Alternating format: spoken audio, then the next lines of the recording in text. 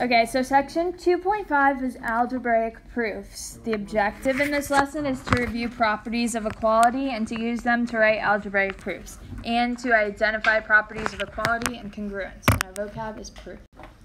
So a proof is an argument that uses logic, definitions, properties, and previously proven statements to show that a conclusion is true. An important part of writing a proof is giving justifications to show that every step is valid. So proof looks something like this. We'll have like an algebraic one. We'll have something like x squared minus 5 is equal to 17. Just this is an example. And then we're going to write each step on this side, and then on the right side, we write the justification for the step. So the reason why we're doing each step. So just like how we've been doing algebra before, we would just make a justification for each step now in the proof. Yep, we just prove how we got the answer. Prove that it's right. So show our work. Yep. Show, you have to show your work and give a reason for each step. Oh. So these are all the properties of equality. So the reason, so the right side of the proof will have reasons like this. The addition property of equality, subtraction property of equality, multiplication property of equality, division property of equality, reflexive, symmetric, transitive, and substitution. So if you notice, all of these have an equal sign because it's talking about equality. So it's like what you do across the equal sign.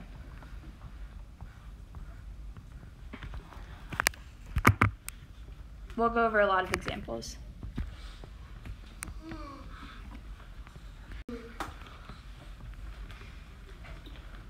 The distributive property states that A times B plus C is equal to AB plus AC. So remember, when we're distributing, we would multiply A times B and then A times C, and we get AB plus AC.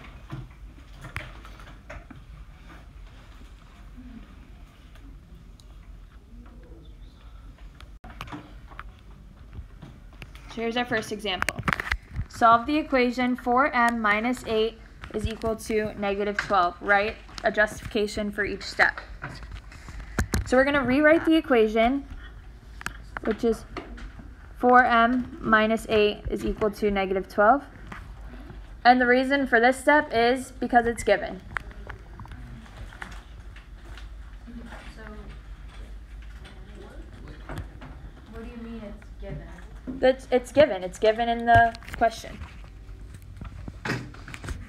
We're just we're rewriting the equation that's given.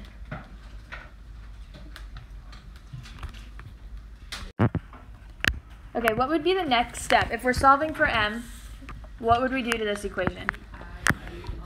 So you're adding 8 to both sides of the equal sign. So this step would be the addition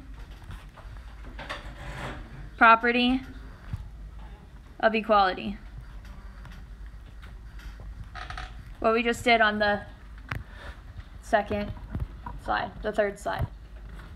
So we have to have all of them, or just one in our, in the. We are solving each step of the equation and giving a justification for each step. So it's not going to have every single one of those. Okay, I was about to say, I'm like, that's a lot. So we're just giving a justification for each step that we do. Okay. So that was our first step. So now we have 4m is equal to negative 4. And this step is, we're just simplifying. Is it the division? Did we do division yet? Oh, no. Nope, we just simplified. We added 8, so these cancel out. And negative 12 plus 8 is negative 4. So all we did is simplify.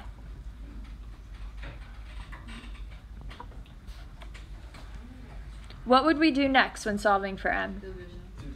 Division. So we divide by 4 both sides of the equation. And this would be division property. division property of equality.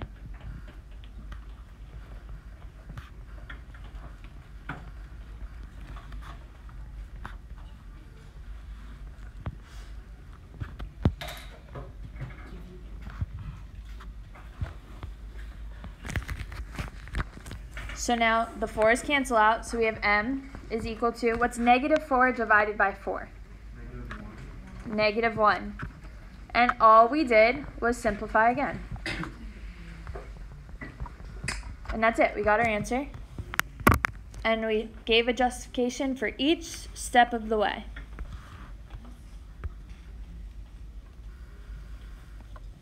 So this is how you do a proof.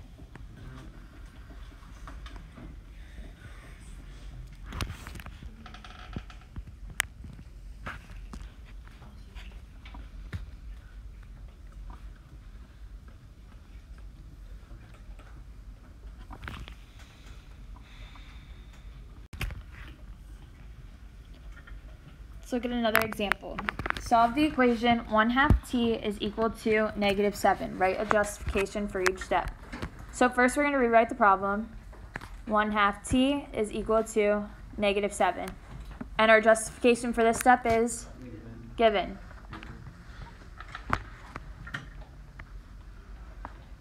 What do we do next to solve for t? Multiply both sides of the equation by 2.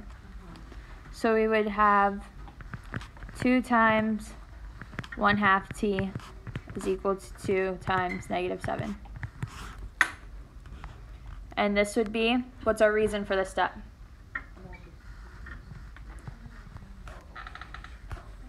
Multiplication,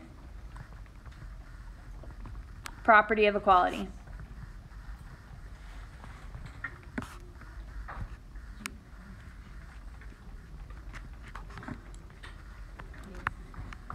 Because we're multiplying on both sides of the equation. So now the 2's cancel out and we're left with t is equal to, then we have 2 times negative 7, which is Negative 14. negative 14. And this step we just simplified.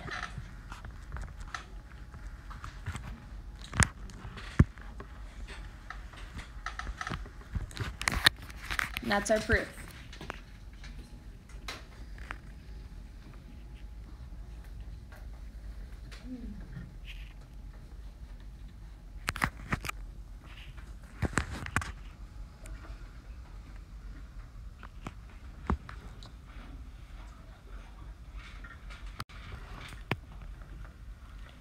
Another example. What is the temperature in degrees of Fahrenheit F when it's 15 degrees Celsius? Solve the equation F is equal to 9 fifths Celsius plus 32 for F and justify each step. So what do we do first? Rewrite the problem. Rewrite the problem. So we're stating our given. So we write F is equal to 9 fifths Celsius plus 32, and this is given.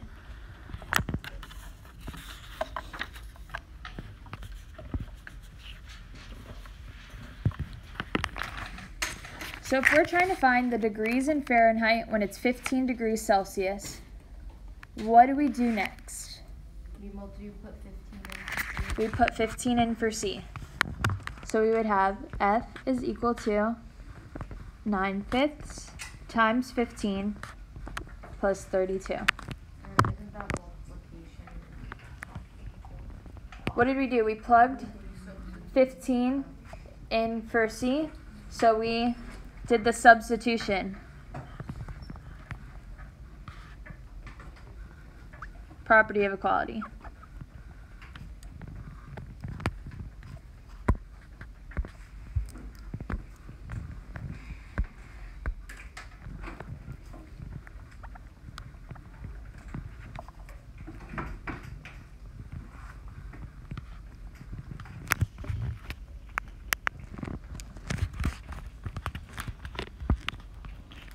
Would we do next?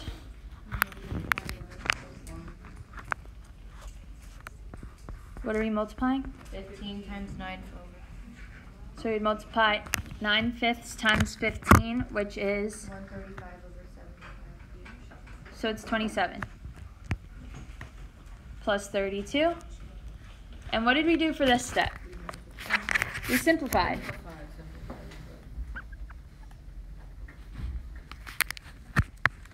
What do we do next? Add thirty-two plus twenty-seven. Add 32 plus 27, so we have 59 degrees. And what did we do in the last step? Simplified.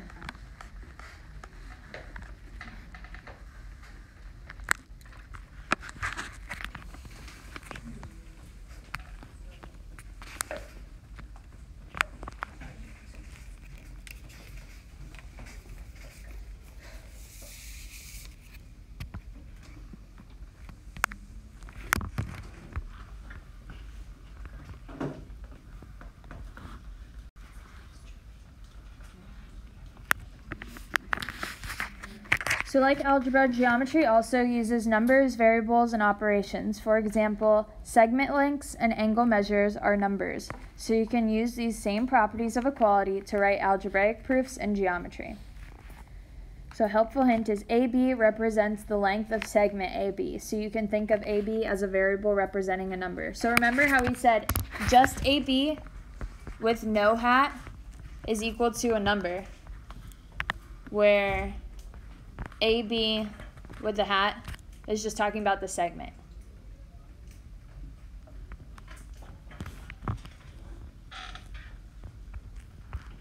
So AB with no hat is talking about a number.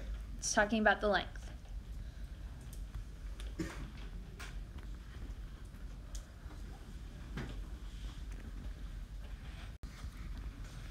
So write a justification for each step.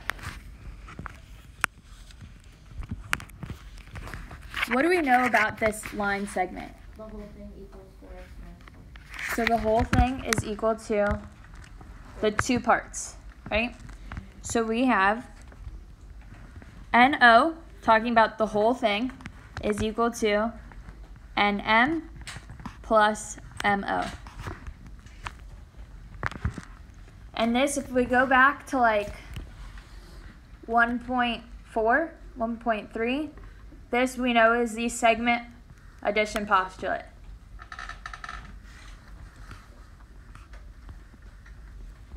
This was 1.3.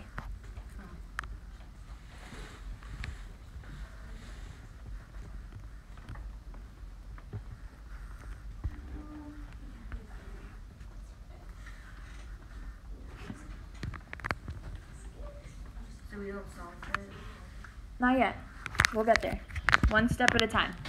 So remember, we need to write each step and give a justification for it. So now what do we do? We plug in. So we substitute 4x minus 4 for NO. What would we substitute for NM? 2x. And what do we substitute for MO? 3x minus 9.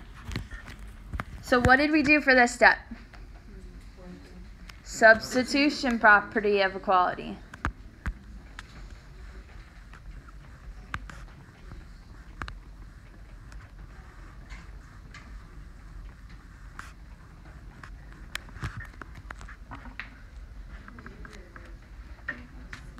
What do we do next? But we, um, Add the combine x's. So we combine like terms. Do we have like terms on the same side of Yeah. the equation? Yes and no. Yes. So let's focus on the yes part of it. So what can we combine on the right side of the equation? two Two So 2x plus 3x is five X. 5x minus 9. And what did we do? Uh, We simplified. So when you're doing it on like the same side of the equation, you're just simplifying. What can we do now?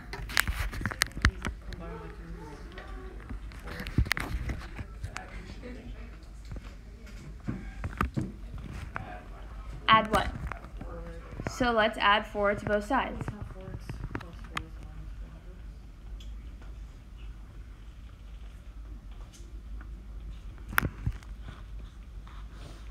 And what step would this be? What are we doing? We're adding, so it's the. Addition. property of equality.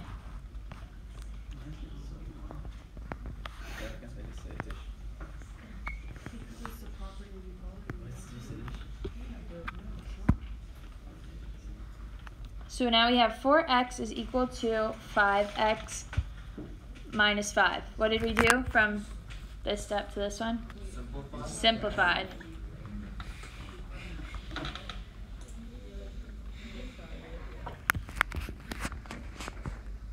So now what can we do? Now you, um, add five on both sides. No, yeah. We would subtract 5 I think it's the other one. from both sides. So this would be Negative x minus five equals. Negative x is equal to negative 5. So this is the substitution property of equality. It's a substitution property of equality because we're subtracting on both sides of the equation sign. Why isn't that simplifying? We're subtracting 5x from both sides.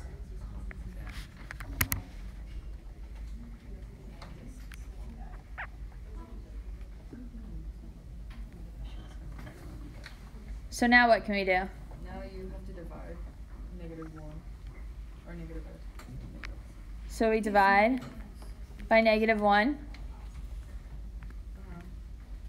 Then x is equal to five. and this would be the division property of equality. And we get x is equal to 5. Negative 5 divided by negative 1 is 5. I still don't understand how substitution if we're minusing. For which step? For when we minus five x to four x, how is that, how is that substitution if? Oh, it's subtraction. I'm sorry. You're right. Because we're subtracting. So this would be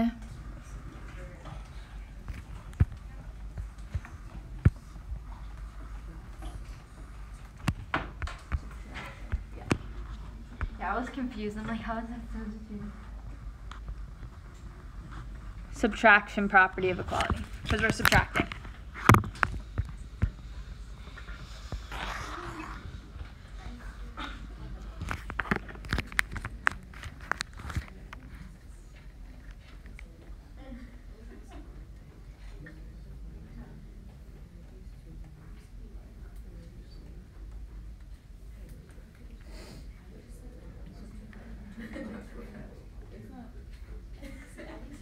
So for negative five, it wouldn't be substitution. No, it's subtraction.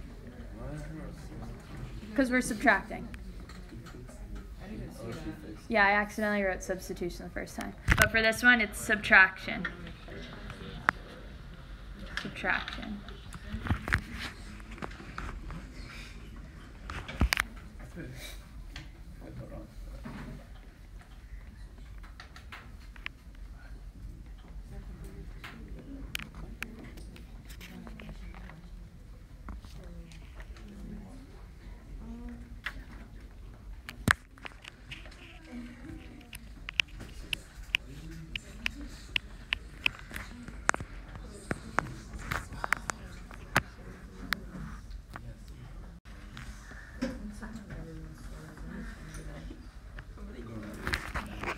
Write a justification for each step. So what do we know about the angles? We have two angles that they don't equal 90 because it's not a right angle. But they are adjacent, but they add to give the whole angle, right? If we add the smaller one plus this one, we would get the whole angle ABC. So we can have angle ABD. Let's start with the big one first. So we have ABC. What's ABC equal to? ABD plus angle DBC.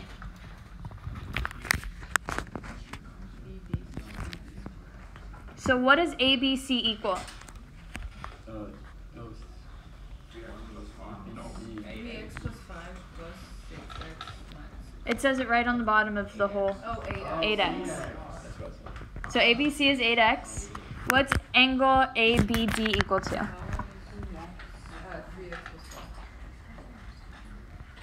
Three X plus five. And what's DBC? Six X minus sixteen. So plus 6x minus 16. So how did we know that the two angles add together to give you the big angle? No, it's not given. You see it? That was a postulate we did, right? This one is angle addition postulate. Is that the same thing as given but for angles? Well, it's not necessarily given because the equation wasn't given. We had to know that the two smaller angles add up to the big angle. And we know that because of section 1.4, which we learned the angle addition postulate.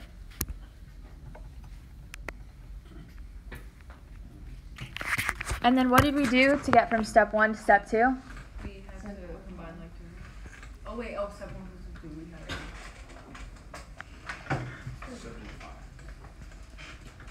What did we do? We plugged in, substitute. Two, eh, substitute the number of the letters. Yep.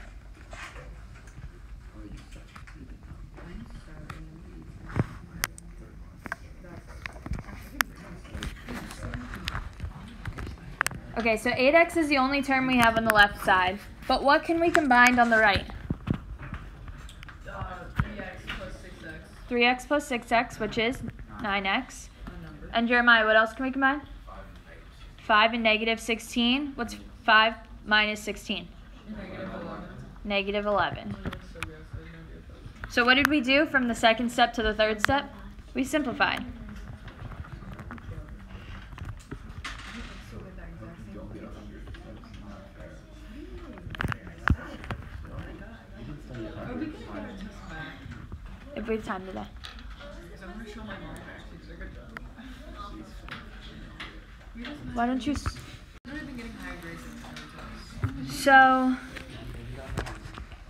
you can get a hundred. That's not now what can we do on both sides? Um, minus nine x, Minus 9x, that would be the subtraction subtraction, property. Have it going there. property of equality.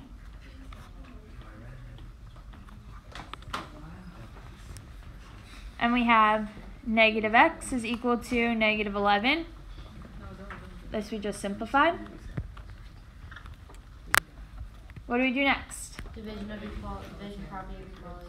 We divide by negative 1, so that is the division property of equality. X equals eleven.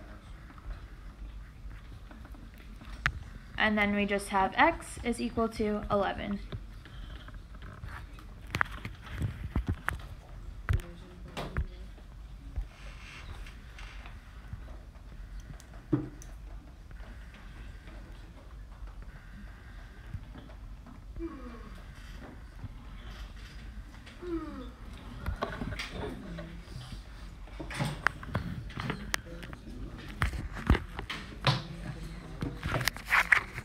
What time is it? Okay.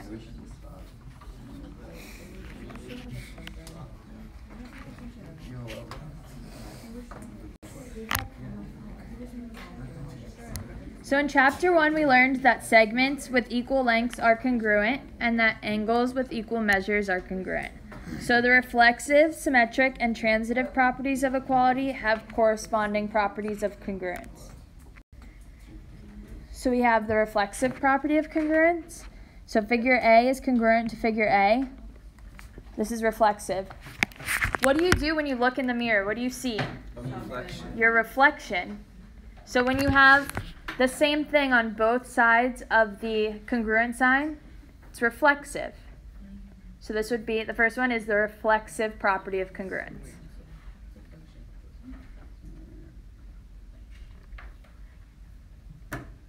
The symmetric property of congruence is if figure A is congruent to figure B, then figure B is congruent to figure A. So if angle 1 is congruent to angle 2, then angle 2 is congruent to angle, angle 1.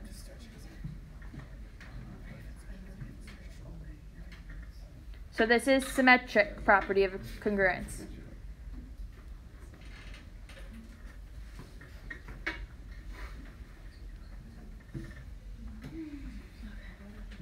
The last one is the transitive property of congruence, mm-hmm. which is if figure A is congruent to figure B and figure B is congruent to figure C, then figure A is congruent to figure C. So if we have segment PQ is congruent to RS and RS is congruent to segment TU, then PQ is congruent to TU. So let's look at the transitive property of congruence with numbers. We're going to look at that down here. So if we have segment PQ is equal to 5, so PQ is equal to 5, RS is equal to 5, and TU is equal to 5. So if PQ and RS are equal,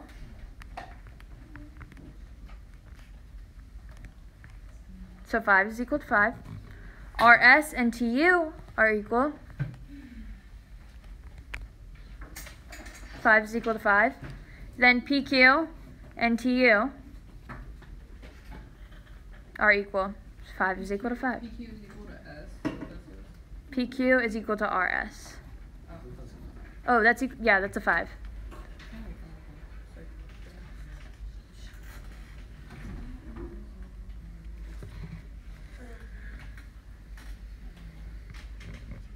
So we're going to go over examples of these.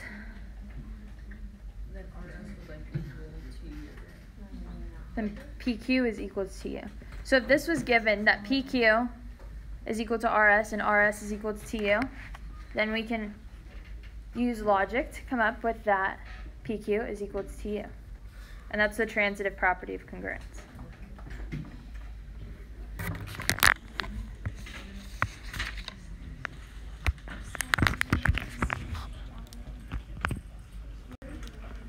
Okay, so remember, numbers are equal and figures are congruent. Remember when we said that segment PQ would be congruent to RS. And you have to put hats on everything. So we have a hat, a hat, and a hat. But we would drop the hats if we're talking about the length of PQ is equal to RS. So you would drop the hats on everything. So you use the equal sign when talking about numbers, and when talking about figures, you use the congruent sign.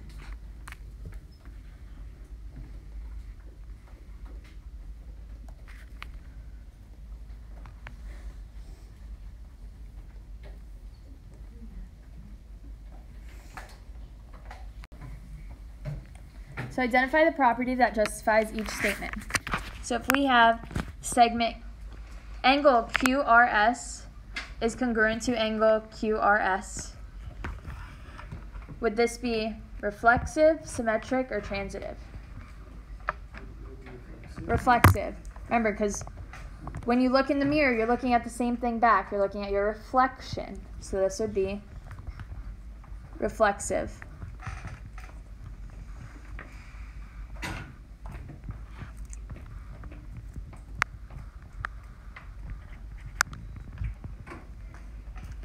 What if we have the measure of angle 1 is equal to the measure of angle 2? So the measure of angle 2 is equal to the measure of angle 1.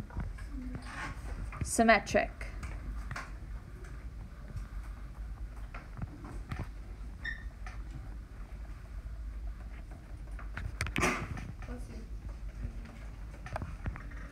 Now let's look at C. Segment AB is congruent to segment CD, and segment CD is congruent to segment EF. So segment AB is congruent to EF. Transitive.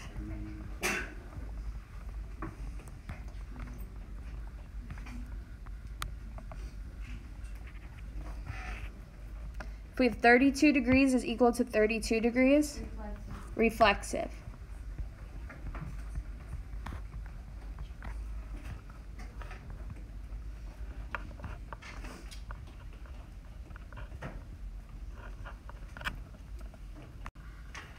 This one's the same thing, just more examples. I'll post it in the video, but if you guys got the last page, you'll get this one. We'll skip for now. So solve the equation, write a justification for each step. So let's rewrite the equation. We have z is equal to 5, z minus 5 over 6 is equal to negative 2. And what would this step be? Given. What do we do next? Um, you times the six to, to z minus five and then to two. So we times the 6 on both sides. So we're left with z minus 5. And what's 6 times negative 2? Negative 12. And this would just be the multiplication property of equality. So multiplication property of equality. What do we do next? So we're adding 5 to both sides. And this would be the addition property of equality. And we would get z is equal to negative 7.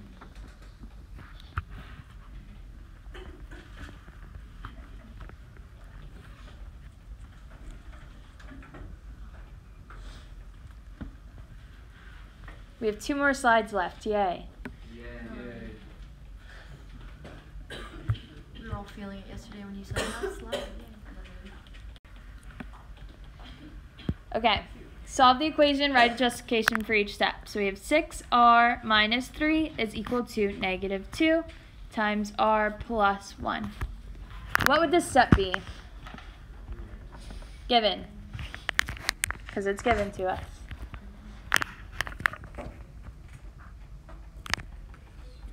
What would we do next? You would multiply putting times the r plus one. So when we're multiplying the negative 2 times r and the plus 1, what are we doing? Distributive. Distributive property.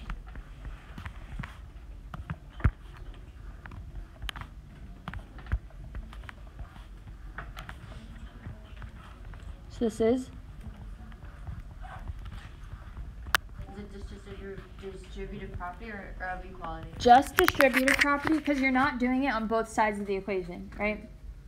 The other ones are like addition property of equation because you're adding to both sides of the equal sign. But this you're just distributing. So just the distributive property.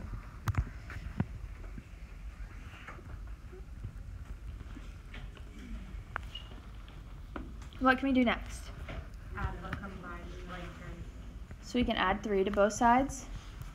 We have 6r is equal to negative 2r plus 1. So when we add 3, that would be the addition property of equality. And then the next step, we just simplified.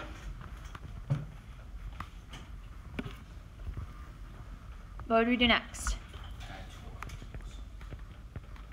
Add 2r to both sides. Jeremiah, what would this step be?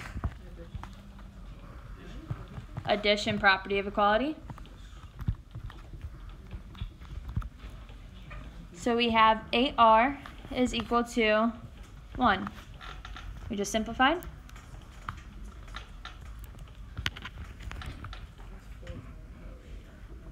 So now what do we do? Divide 8 on both sides. And what would this step be? Division.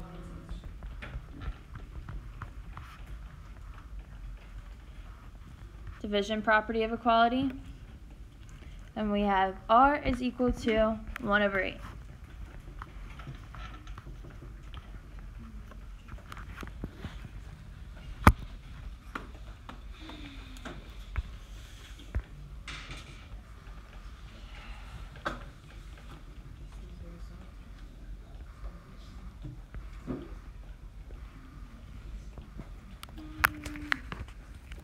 That's our proof.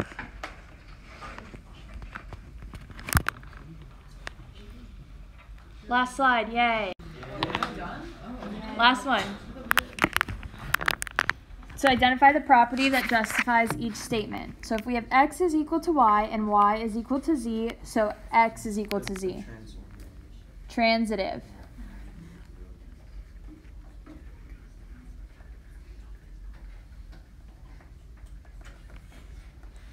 What if we have angle DEF is congruent to angle DEF?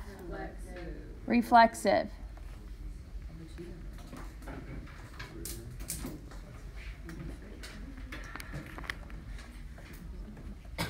Last one. If segment AB is congruent to segment CD, so segment CD is congruent to AB. We only have two things though. Symmetric. I